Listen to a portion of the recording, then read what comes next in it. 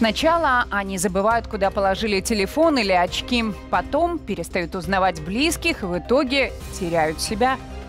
Увеличение продолжительности жизни оказалось палкой о двух концах и подвело человечество к порогу, когда часть ее может пройти без памяти. Болезнь Альцгеймера – тема нашей программы. Это ток-шоу «Еще не вечер», и мы начинаем. Меня зовут Людмила, я живу в городе Борисове. Я на протяжении семи лет ухаживала за мамой за своей, у которой была болезнь Альцгеймера. Первые признаки да, появились вот где-то чуть за 80. Мама такая вот, она сама по жизни такая вот активистка, то есть такая вот активный образ жизни вела. Работала она на фанспич-комбинате, работа у нее связана была у мамы именно вот с учетом леса, поэтому сказать, чтобы как бы нагрузку на память такого, что она не давала, такого не было. Постепенно вот такие вот симптомы, что где-то паспорт положила, забыла, то ли потеряла. Ну вот как-то меня стало настораживать. А потом, чем дальше, тем уже, конечно, стало уже сложнее. Особенно, наверное, последние года четыре она даже меня уже не узнавала. Я говорю, мам, ты меня что, не узнала? Ну вот кто я? Ой, детка моя, точно, я ж тебя не узнала. Ты же Люда, ты же дочка моя. А потом, а где моя Люда? Может сказать, а в школу, в школу, ты в школу там дневник подписала, собрала там дневник. Мама, я ж уже взрослая, какая школа, у тебя ж уже внуки есть. настолько, вы знаете, это тяжело было вот воспринимать, осознавать, что мама, мама стала другая. И сегодня Людмила у нас в гостях. Приветствуем ее в студии.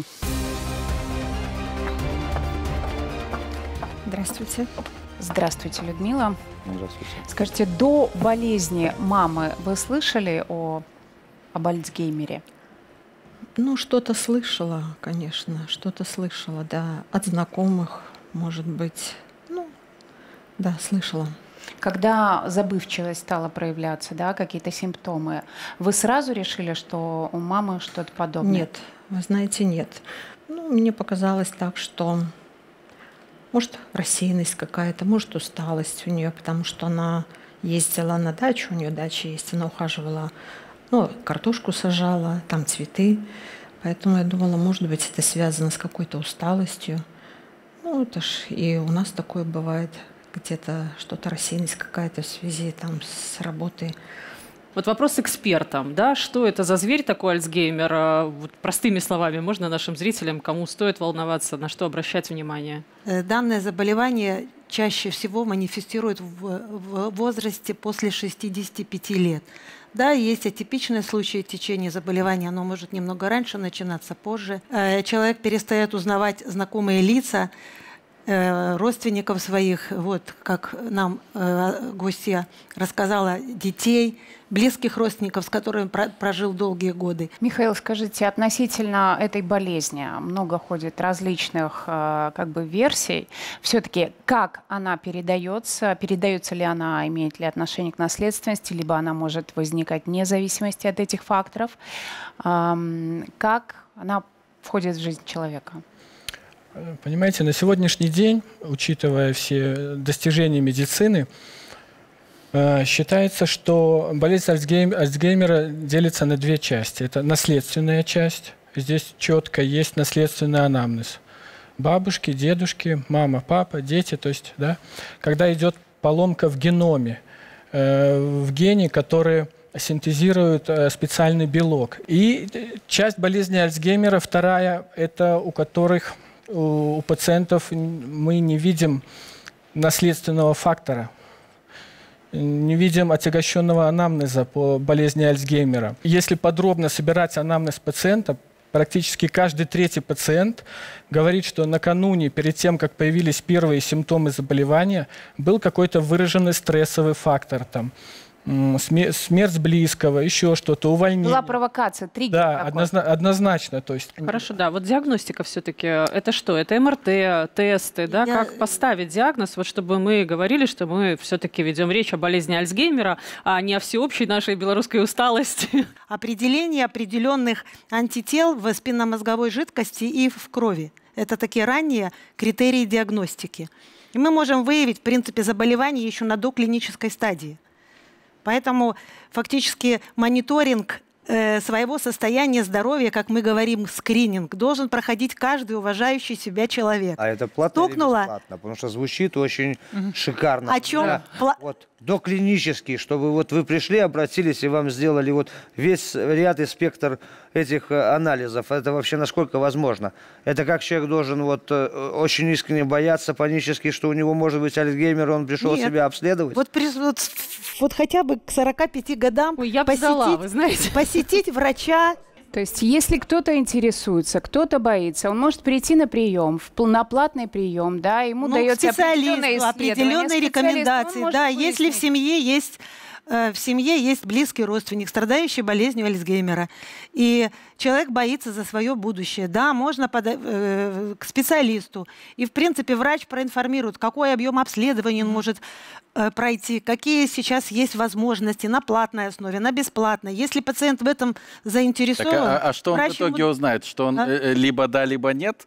То есть либо живи спокойно, либо все, кранты? Ну вот, что он что он в итоге узнает? Да, если он входит в группу риска, он э, определит, в каком состоянии его организм и что следует контролировать. Может, у него и заболеваний других нет. Да, он в группе риска, будет себе жить спокойно. А может получиться ситуация. Человек приходит к доктору. Вот я стал забывать. Да? А доктор видит симптомы депрессии, тревожного, тревожного расстройства, подкорректировали, вылечили. Между прочим, болезнь Альцгеймера среди всех деменций, вот если дифференцировать, да, то это, можно сказать, единственное заболевание, которое сопровождается э, нарушением только высшей корковой деятельности. Деменция сосудистая, там, другая этиология, как правило, сопровождается э, какой-либо нев... другой нев... очаговой неврологической симптоматикой. Поэтому вот, вот вы задаете вопрос, а какая польза? Вот если человек приходит, в любом случае назначается перечень обследования, и методами исключения мы приходим к какому-то а, окончательному выводу. Ну, благоприятному или, или нет. Но в любом случае польза от обращения в медицинское учреждение будет однозначно. Э, Михаил сделал акцент, мне кажется, на очень важные вещи, потому что не надо, если мы увидели, что у человека снижение памяти, сразу думать, что это Альцгеймер. На самом деле все эти диагностические методики позволят выявить, это же может быть на самом деле и сосудистые проблемы, и опухоль мозга может быть. Что Такая угодно, ситуация воспалительные, инфекционные, инсульт, То есть много э, других заболеваний. И вот, Михаил, я хотела уточнить, если если э, есть какая-то забывчивость, э, какие-то очень легкие симптомы, то они их можно восстановить, верно? Конечно. Конечно. Если мы говорим о функциональном нарушении, не о дебюте э, какого-то нейродегенеративного, в, в том числе болезни Альцгеймера, то есть это всего лишь ранние симптомы хронического прогрессирующего заболевания. Но в рамках э, легких когнитивных нарушений подавляющее большинство пациентов – это функциональные пациенты – которым нормализовать режим труда-отдыха, сон, э, немножко отдохнуть, возможно, попринимать антидепрессанты. И когнитивных нарушений этих легких, как не бывало, восстанавливаются вот эти вот память, внимание, концентрация и так, и, и так далее. Я для себя вот пользуюсь... Прям хочется сказать фух. Абс абсолютно. Обнадежит. Я для себя... Евгений, выдохните. Я для себя пользуюсь вот э, такой схемой. Если на когнитивные нарушения или на поведение, скажем так, обратили внимание коллеги, родственники, это уже практически стопроцентная проблема. И, между прочим, пациент с болезнью Альцгеймера сам никогда не придет и не скажет «я забываю», потому что у них снижается критика, они не понимают этого, что с ними происходит. Как правило, вот, э, дементных пациентов разные теологии э, приводят родственники и говорят, доктор, вот у, у нашей бабушки, у нашей дедушки такая-то вот проблема. А бабушка или дедушка сидит, спрашиваешь, вас что-то беспокоит? Нет, доктор, у меня все хорошо, только вот вчера давление поднялось. Все. Сами пациенты жалоб по, по когнитивной сфере практически не предъявляют. А вот Евгений, проверим да, на вас, наверное. Давайте. Вы поняли, да, куда идти и что делать. Ну, я понял. И когда сам... волноваться. Да, на самом деле, как бы у всех были э, пожилые родственники, бабушка и дедушка тоже перед смертью. Э, дедушку немножко трясло, там что-то вроде Паркинсона, бабуля э, тоже немножко забывалась. Вот, но мне кажется, что все-таки, если говорить о социальной какой-то ответственности в нашем обществе, да, то, ну, в первую очередь, конечно, семья должна поддержать и создать вот эту атмосферу любви, уюта. Вот и, конечно, вот честь вам и хвала за то, что вы за своей мамой так ухаживали. Моя мама тоже за бабушкой и дедушкой ухаживала. Вот это, ну, мне кажется, в данном э, заболевании вопрос личного счастья заболевшего человека, он, ну, доминирующий. И, конечно, когда ты окружен атмосферой заботы и любви, то течение заболевания, наверное, все-таки как-то э, облегчается, я бы сказал. Потерять свою личность, в итоге потерять свое прошлое – это пугающая перспектива. А каково это жить с человеком, который тебя не помнит? Узнаем после рекламы.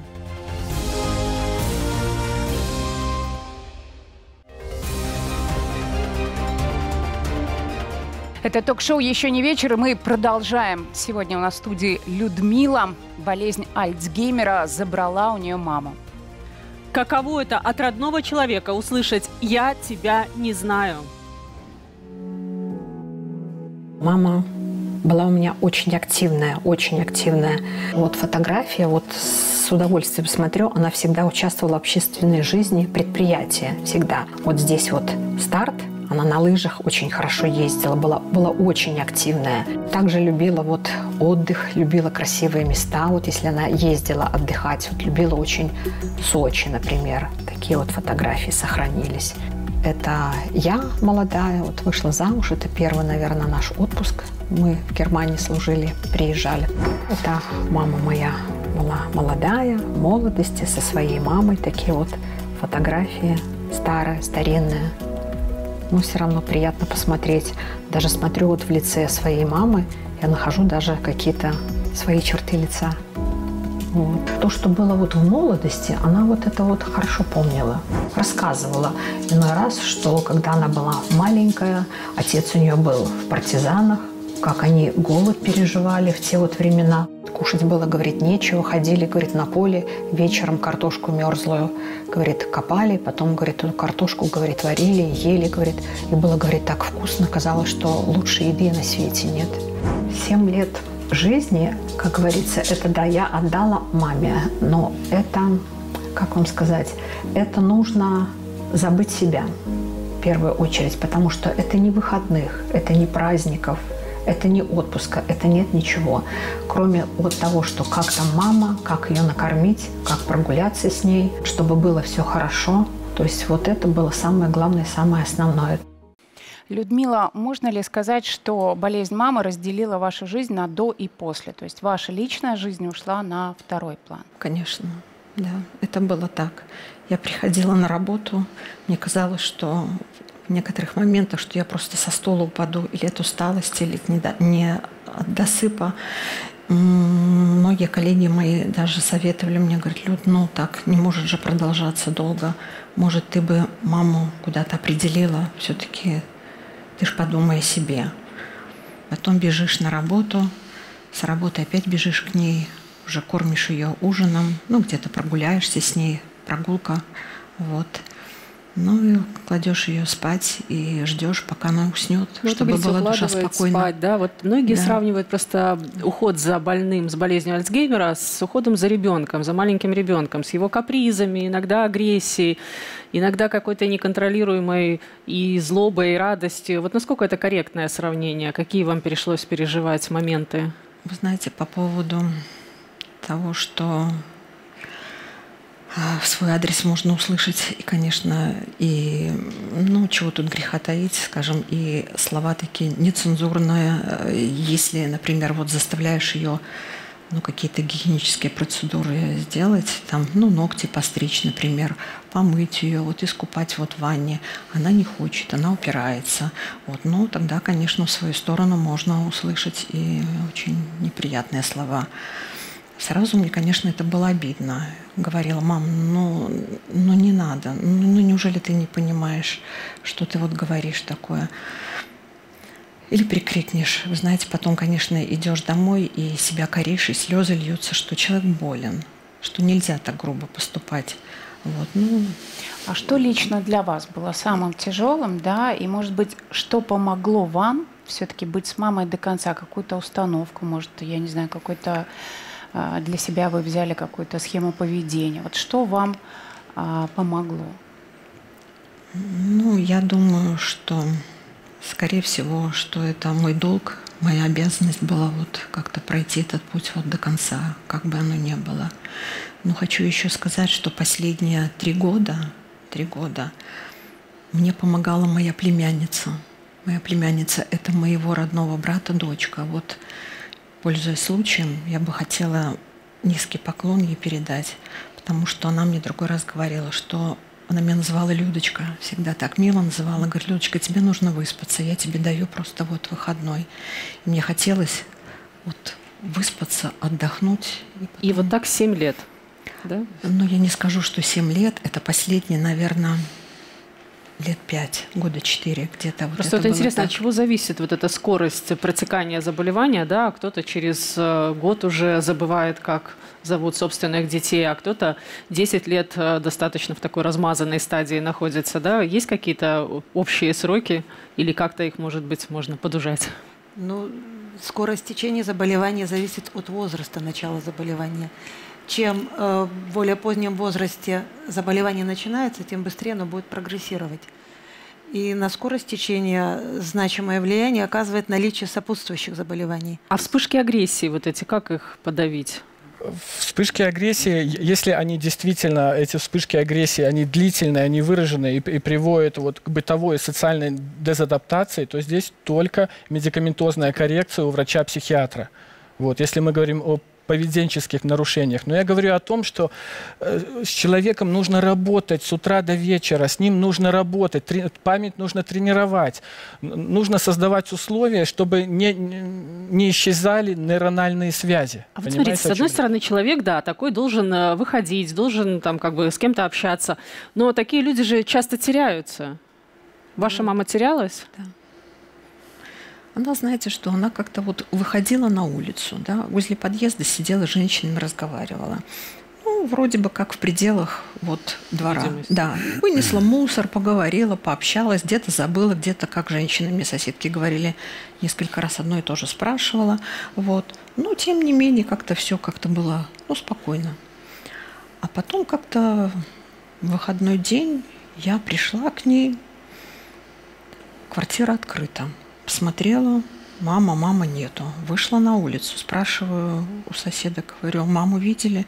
Да, часов 12 видели. А это время было, ну, часа 4, предположим. Да, видели, она мусор выносила. Но я посидела. Нет, мама, 6 часов, 7, 8 вечера, 10 часов вечера. Нету. Я уже понимаю, что уже это тревожно, что это сигнал какой-то. Я позвонила в милицию. И на следующее утро, в 6 часов утра, мне позвонили с больницы и сказали, что мы нашли в старой части города вашу маму. Она вся побитая, вот у нее сломано ребро, ну там еще ссадины у нее, вот. И с тех пор, конечно, я уже поняла, что это надо уже такой вот, ну, тщательный уход. Дверь закрывали как? Да, да, поменяла замки, потому что ключи постоянно терялись у нее, ну, часто терялись ключи, поменяла вот замки и уже как-то взяла ситуацию уже под свой контроль. Сергей, скажите, как часто у вас вот такие потеряшки с болезнью Альцгеймера? Э, но мы не разделяем именно болезнь Альцгеймера, либо деменция. Есть разные другие факторы потери памяти, череп, черепно-мозговые травмы, дети с различными заболеваниями. Но в целом это ежедневное обращение о том, что люди ушли и не вернулись домой, именно сопряженные с э, потерей памяти. Ну, вот здесь же живем... огромный риск, да? Человек не отвечает как бы за свои действия, он не осознает опасность. Как вот, э, в чем особенность таких людей, которые потерялись? Я очень про это можно рассказывать просто долго и вечно. Это действительно очень-очень э, больной вопрос именно со стороны поиска и спасения этих людей. Алгоритмы разработаны, они работают, я имею в виду по поиску людей. Мы знаем, как, какая специфика поиска людей с потерей памяти, на что мы обращаем внимание, на что мы э, доносим, какую информацию мы доносим людям, важную для того, чтобы они могли нам помочь. Но при всем при этом, да, действительно, угроза жизни и здоровья этих людей с потерей памяти, она, очевидно, высока. Это как и пропажа маленьких детей, потому что эти люди не отдают отчет Э, где они находятся, они никогда не будут просить помощи, потому что сами фактически не понимают, что находятся в опасности. Они могут передвигаться сутками, искать их локально, как часто совершают ошибку родственники, своими силами где-то во дворе жилого дома. Практически бессмысленно, потому что они хаотично передвигаются на общественном транспорте. У них есть какие-то старые привычки. И чаще всего и страшнее всего, э, так, чтобы не перескакивать, наверное, очень важные моменты. Люди, стараясь во благо своих родителей, забирать их, например, из квартиры на дачу в деревню летом, вывести, подышать свежим воздухом. При этом зная, что у них, э, у близких есть э, такая проблема, как потеря памяти. Самое опасное – это когда они их теряют непосредственно в той среде, в которой они Э, вообще не ориентируется, и там рядом лесной массив, река, либо еще что-то, вот тогда это очень сопряжено с угрозой жизни. А именно все истории начинаются одинаково. Отвлеклись на секунду, пошли жарить яичницу. Как он мимо меня прошел, как она мимо меня прошла, вышла в туалет на улицу, выходим, кто-то не закрыл калитку. То есть никто из близких, конечно, не предвидит того, что и не хочет, чтобы э, человек вышел за пределы дома и потерялся и пропал. Скажите, может быть, какие-то приспособления да, специальные есть живем. для Большой таких брат людей? смотрит повсюду, да. да. Неужели вот нет каких-то приспособлений? Брелок э, какой-то, да, который можно отслеживать. Это не панацея, но да, рекомендации есть. Я сегодня принес в студию показать специальные браслеты, они единичные в Беларуси. Это браслеты специальные для людей с потерей памяти. Альцгеймер, деменция, неважно. Они используются э, на человеке, который эту память потерял. Э, в принципе, они схожи с э, работой детских часов, когда мы следим за нашими детьми, где они находятся, с единственной поправкой на то, что эти браслеты невозможно снять с руки. Они замыкаются как наручник и хаотичными там шаловливыми движениями какими-то, когда люди не отвечают за свои действия и не понимают, что у них одето, они могут снять любые другие предметы с себя и оставить их. Эти э, браслеты разработаны таким способом, что они как наручник замыкаются на руке, и, и снять их может только э, родитель или ну, кто, кто осуществляет контроль. Э, если его попытаться вскрыть, разрезать, э, выдернуть, он дает сигнал тревоги и говорит о том, что э, попытка снятия браслета, к примеру. Также специальные пауэрбанки, которые установлены на него, позволяют его не снимать с руки 24 часа в сутки. В отличие от детских часов, к примеру, потому что их надо снимать, ставить на зарядку, а человек ночью может подняться с кровати и выйти за пределы квартиры и потеряться. То есть, да, такие технические возможности есть, но еще раз говорю, очень часто и много факторов, которые не позволяют им корректно работать. То есть это не панацея, но обязательно, конечно же, близким и родственникам, у кого есть э, такие проблемы, как э, что надо контролировать Э, передвижение, потеря памяти, либо иные обстоятельства, необходимо использовать самое простое, это что делают, это различные записки в карманы с фамилиями, отчеством, адресом и контактными телефонами. этого человека. Да, это различные жетончики, медальоны, это браслеты, есть специальные браслеты людей, которых от, обозначают, что это болезнь Альцгеймера. Они яркие, привлекающие внимание. На них обычно есть какая-то рекомендация или номер телефона, с кем связаться. Но в целом, даже если вы обратитесь в милицию как свидетели, очевидец того, что вы видите человека с потерей памяти, очень важно, э, делаю такое, как это правильно сформулировать, э, плохое добро.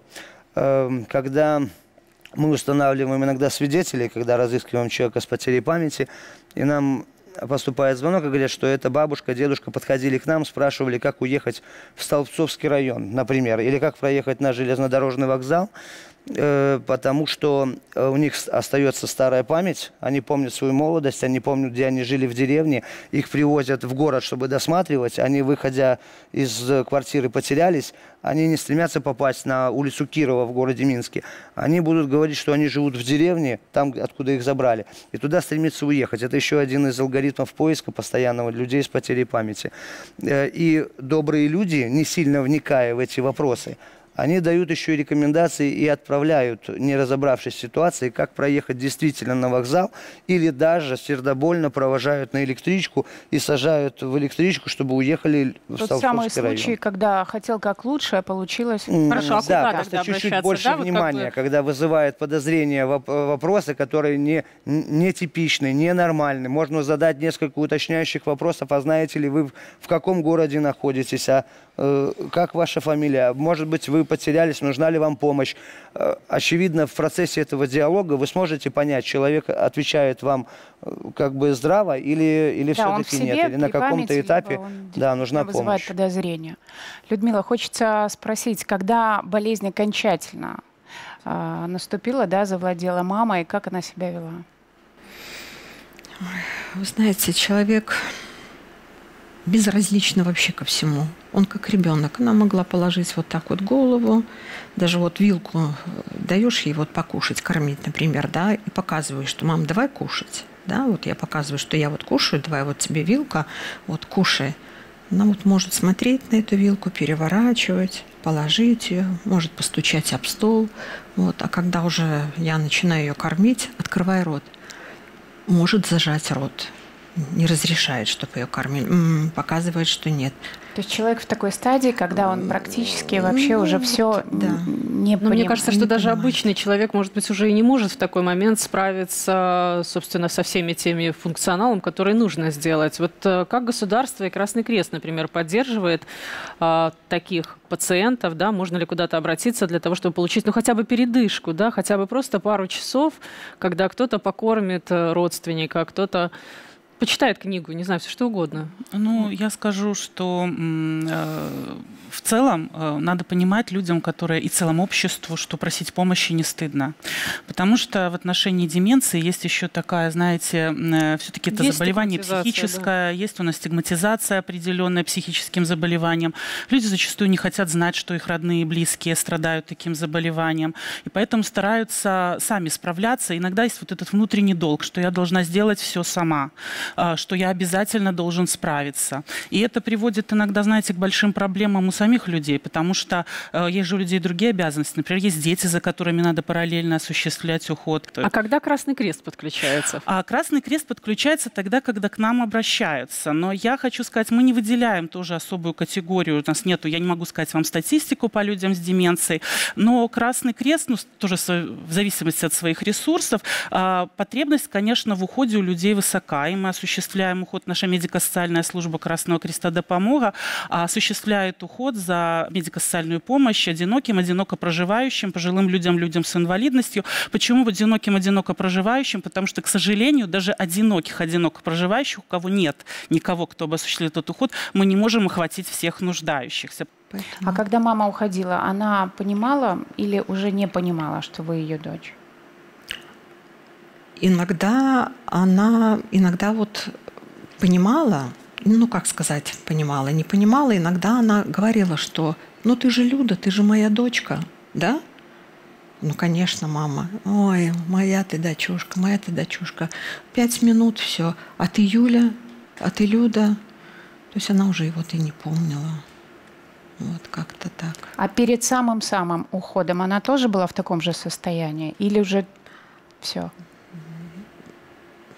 Помнила ли она вас? Кто держит ее за руку? Уже путалась она, путалась она уже. Она уже то соседка, то Ванда Матвеевна, почему-то какое-то вот имя, отчество Ванда Матвеевна, я даже не знаю, кто это по жизни, но она постоянно говорила, Ванда Матвеевна, пройдите, сядьте, Ванда Матвеевна, Ванда Матвеевна. Ну, наверное, для вас было важно, что вы держали ее за руку в последние минуты все-таки. Вот, да.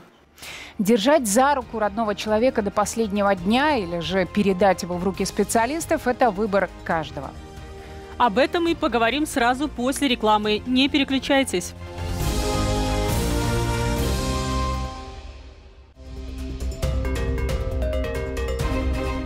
Еще не вечер, и мы обсуждаем очень непростую тему. Семья, в которой есть тот, кто страдает болезнью Альцгеймера, испытывает невероятный стресс и большую нагрузку. Возникает вопрос, как организовать заботу, если возможности не работать нет. Решение поищем в нашей следующей истории.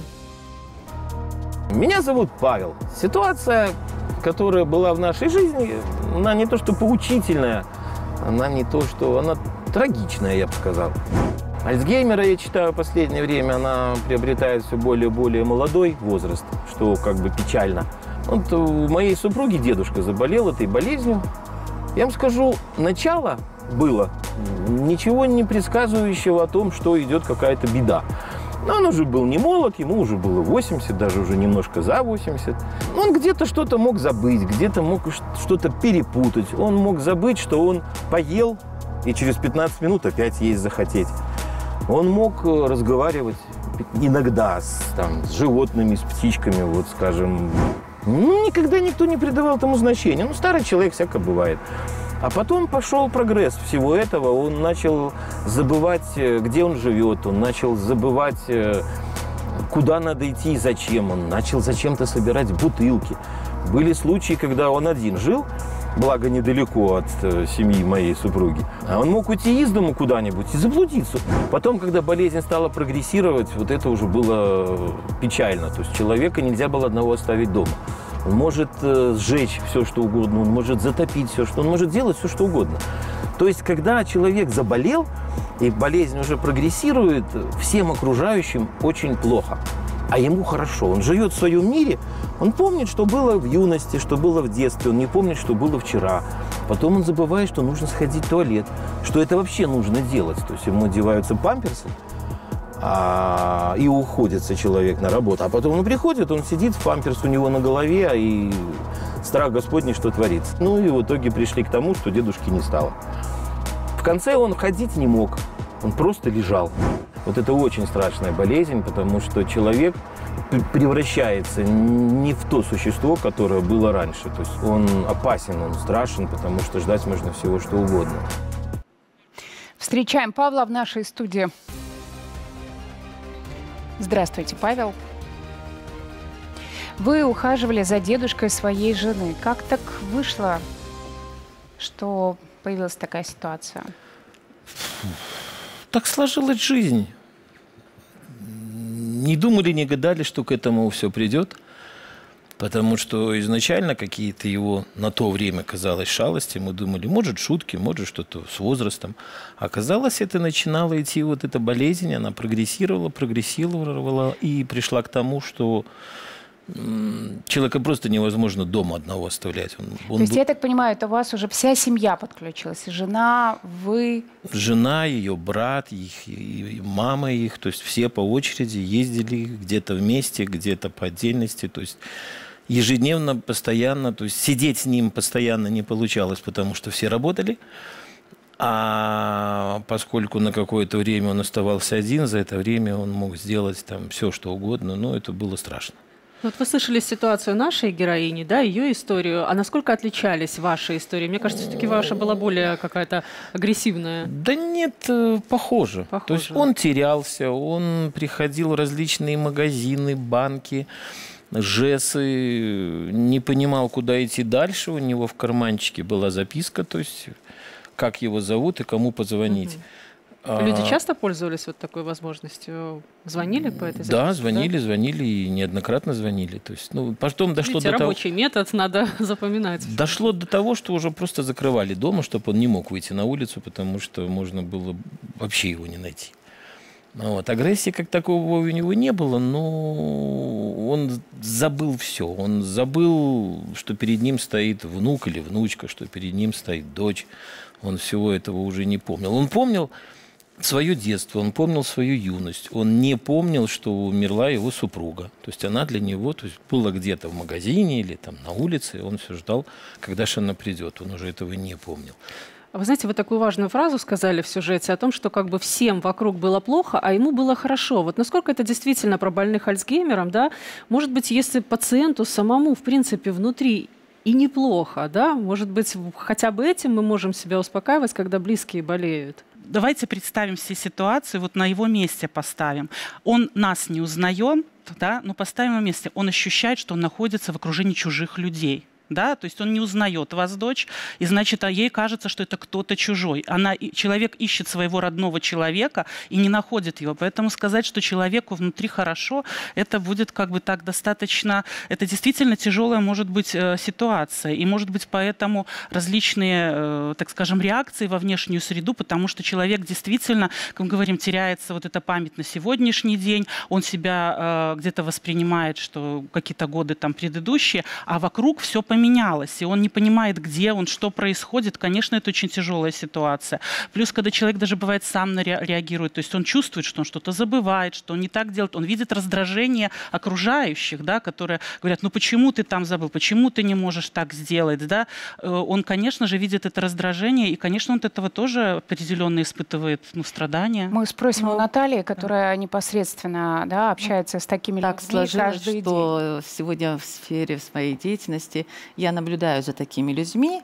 Э, пусть их у нас немного в учреждении, дом-интернат, но вначале я хочу сказать, Людмила, и я забыла, как вам Павел. большое, конечно, большие слова почитания и уважения за то, что вы до последних дней, до последних взяли на себя вот, вот эту, знаете, ношу, рядом быть с близким человеком. Но, с другой стороны, я тоже два месяца была рядом со своим мужем, и у меня стоял вопрос, что делать. Или работать, так, или бросить работу. И я понимаю, что это необратимый процесс, так, эта болезнь неизлечима, так, и она может продлеваться, э, тоже вот я прочитала, она может год, может 5, может 20. В среднем 6-7 лет, и э, это идет прогресс. И остановить, остановить, ну, может быть, на начальной стадии. Да, мне очень хочется задать вопрос, почему все-таки вы не решились? Может быть, бытует мнение, что если поместить человека в дом-интернат, в стационарное учреждение,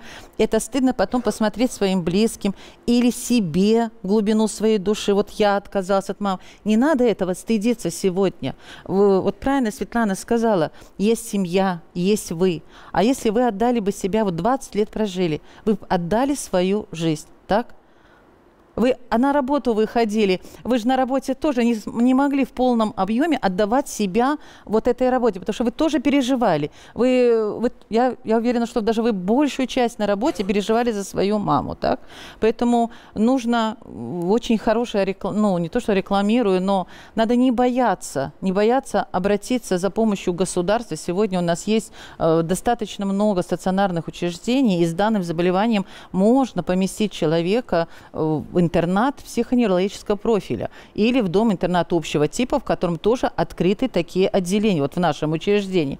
И я вам хочу сказать, на сегодняшний день во всех таких учреждениях это прежде всего безопасные условия, комфортные условия, условия, которые приближены к домашним. Это платные услуги? Определение Есть в интернат? определенные условия в интернате, если человек одинок, так, и в течение последних пяти лет э, он не производил отчуждение своего имущества, то человек поступает в учреждение на государственное обеспечение, полностью на государственное обеспечение. Если же у данного человека есть близкие родственники, так, которые могут его содержать, это в данном случае дети трудоспособного возраста, то, конечно, дети производят доплату. Да. Я хочу сказать, не, дов- не настолько уже А каких сумма сум- большая. В да? пределах, вот я хочу сказать, на сегодняшний день, вот с 1 апреля, стоимость вот в доме-интернате нашего типа стоит 33 рубля 80 копеек. В среднем 1040 вот так в месяц получается.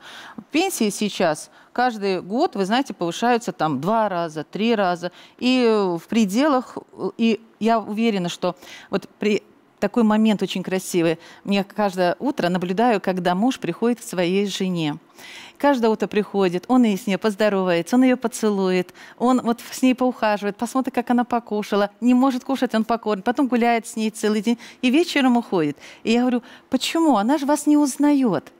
А он говорит, я знаю, что это моя жена, я люблю. И я буду любить до последнего момента. И буду приходить каждый день. Я пенсионер. Но он вечером уходит домой, он выспался, и утром опять пришел к ней Снова и гуляет. да. Поэтому я призываю всех, кто находится вот в такой вот ситуации, вы знаете, не хороните себя, не, вам надо еще жить, вам надо на благо нашего государства еще работать. Поэтому вы молодая женщина, поэтому не надо отказываться от тех услуг, которые сегодня предоставляет А мест хватает Мест. в таких? Да. Вы знаете, на эту тему я еще говорю, если человек надо поместить в учреждение, он обязательно будет там.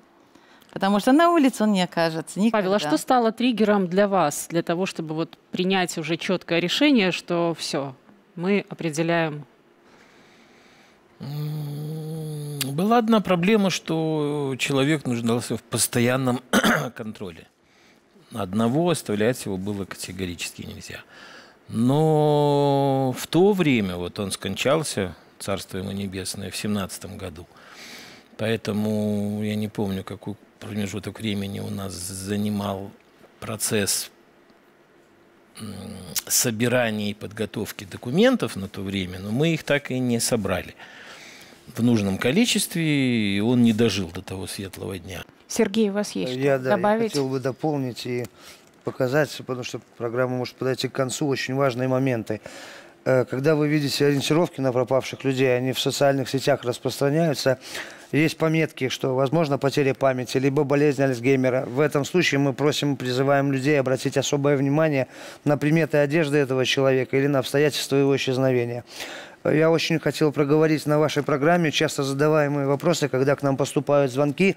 Э, люди не знают, что делать, если видят человека с потерей памяти. Первый звонок – это должен быть в милицию, если, очевидно, человек не нуждается в медицинской помощи, кроме той, что он дезориентирован и не знает, как его звать и где он живет. Э, милиция будет устанавливать личность этого человека, э, будет помогать установить его родственников. Если по просьбе там в карманах достать что-то из карманов, записки какие-то, жетоны, жетоны, медальоны, браслеты на руках. Не просматриваются у человека, но чтобы некорректно не лазить у него по карманам, то вызывается милиция, милиция будет устанавливать личность этого человека и оказывать ему помощь. Если человек получил при этом травму, имеет какие-то явные признаки травмирования, там, повреждения головы, кровотечения какие-то, тогда вызывается скорая помощь. Скорая помощь по такому же алгоритму будет устанавливать, доставит медучреждение, туда пригласит сотрудников милиции в случае необходимости и будут устанавливать обстоятельства, что случилось с этим человеком. Очень важная рекомендация. Очень многие думают в нашем обществе, что надо ждать трое суток. Мы не можем победить эту ситуацию никак, но мы доносим в очередной раз информацию о том, что ждать трое суток ни в коем случае нельзя. Если вы понимаете, что человек пропал, и он склонен к тому, чтобы терять память, очевидно, для многих это является первым разом обращения. Бывают обращения с рецидивами, то есть когда человека мы ищем, они. да, постоянно ищем.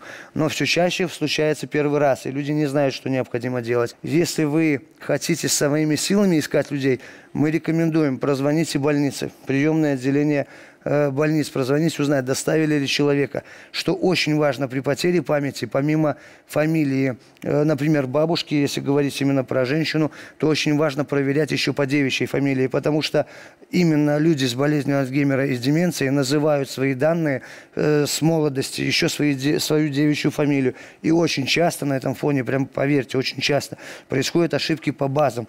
Ее ищут, бабушку ищут по фамилии одной, а она доставленная в больницу представляет представилась по своей девичьей фамилии, и она будет лежать в больнице несколько дней. Мы ищем ее как без вести пропавшую, а она в больнице. И поэтому вот эти моменты, они очень важны для того, чтобы общество э, услышало это и знало вообще, какие алгоритмы, как себя вести и что делать, если пропадает человек с потерей памяти. На самом деле это действительно очень важная информация. Диагноз болезнь Альцгеймера – это действительно страшная болезнь, но от нее никто не застрахован.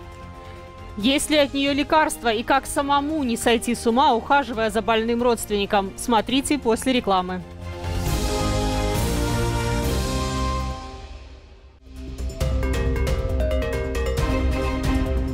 Еще не вечер, говорим вам мы.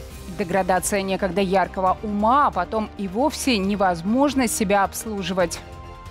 Маргарет Тэтчер, Шон Коннери, Брюс Уиллис, Светлана Светличная. Болезнь Альцгеймера и деменция не щадит ни богатых, ни знаменитых. И волшебной пилюли пока нет. Такой вопрос, почему до сих пор нет лекарства от болезни Альцгеймера? Лекарства нет, потому что неизвестна причина. Когда выясняется причина заболевания, то разрабатывается и лекарство для лечения этого заболевания.